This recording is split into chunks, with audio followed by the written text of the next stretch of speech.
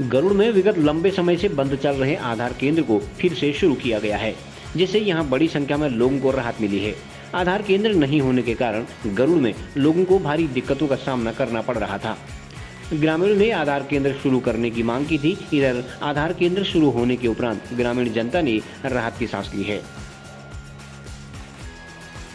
बस मैं यही कहना चाहूँगा कि यहाँ पर व्यवस्था कर दी गई है। स्टाफ की व्यवस्था पूर्ण हो गई है।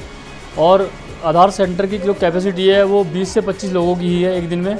यदि लोग व्यवस्था बनाए रखेंगे और शांति से अपना काम कराएँगे तो यहाँ पर व्यवस्था सुचारू रूप से चलती रहेगी। क्योंकि बीच में कुछ इसी तरह की व्यवस्था हुई, जिसके कारण ये बंद हो गया था। और अब ये आपके सहयोग से खुल चुका है और जिसमें लोगों को फ़ायदा मिलेगा, समाज का फ़ायदा है, क्योंकि गरुड़ के अंदर कोई भी और आधार सेंटर चालू नहीं है और बड़ी मुश्किल में इसको चालू करवाया गया है दोबारा। तो यदि व्यवस्था बनी रहेगी तो यहाँ पर सारा कार्य सुचारू रूप से चलता रहेगा।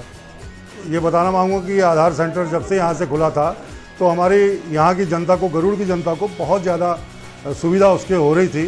परंतु कई कारणों के वजह से यहाँ पर ये बंद हो चुका था, जिससे कि लोगों को परेशानियाँ बढ़ गई। दूर दूर दराज से लोग यहाँ पर अपने आधार कार्ड के लिए और अन्य श्रम कार्ड के लिए और कई चीज़ों के लिए यहाँ पर आ रहे थे। तो वो सुविधाएँ सारी बंद हो गई, जिस वजह से लोगों को बड़ी परेशानी उठानी पड़ी और बागेश्वर का रुख देखना पड़ा।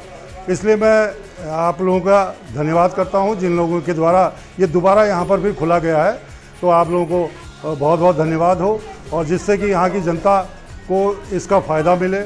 और मैं जनता से भी अपील करना चाहूँगा कि आप सिस्टमेटिकली अगर अपना काम कराएँगे तो किसी को भी कोई असुविधा नहीं होगी। न स्टाफ को, न पब्लिक को।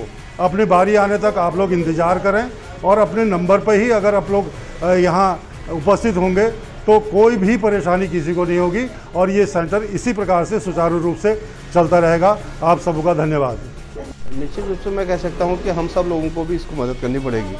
और पहले भी कई कतिपय कारणों के कारण जो बंद हुआ था मैं आधार सेंटर वालों से भी निवेदन करूँगा कि ये इस तरह के कहीं हमारे, क्योंकि दुरस्थ क्षेत्र के गाँव गाँव के लोग आते हैं, उनको परेशानी न हो।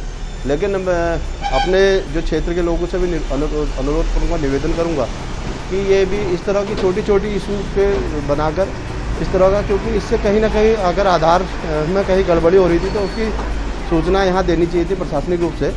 लेकिन इसकी सूचना न देकर ये आधार बंद होना, कहीं, आधार बंद हुआ, जिसका कहीं ना कहीं क्षेत्र के लोगों को नुकसान भी हुआ।